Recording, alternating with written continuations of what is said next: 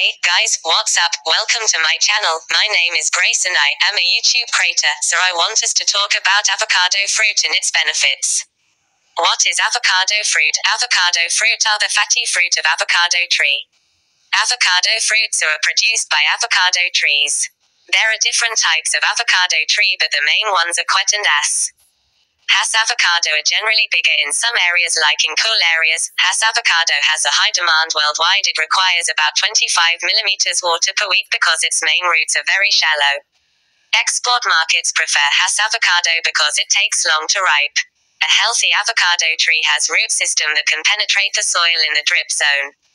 Pruning is very important for your trees, and it's important to prune your plant at an early age. Pruning starts at the planting stage when shoot are from rootstock.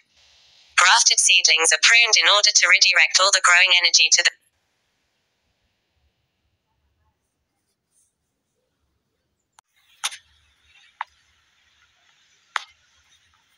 Pruning starts at the planting stage when shoot are from rootstock. Grafted seedlings are pruned in order to redirect all the growing energy to the top part. It also helps to reduce nutrients competition in a plant.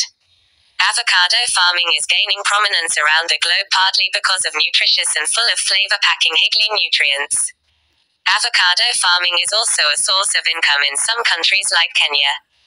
Golden Hass avocado is the best variety to plant. A.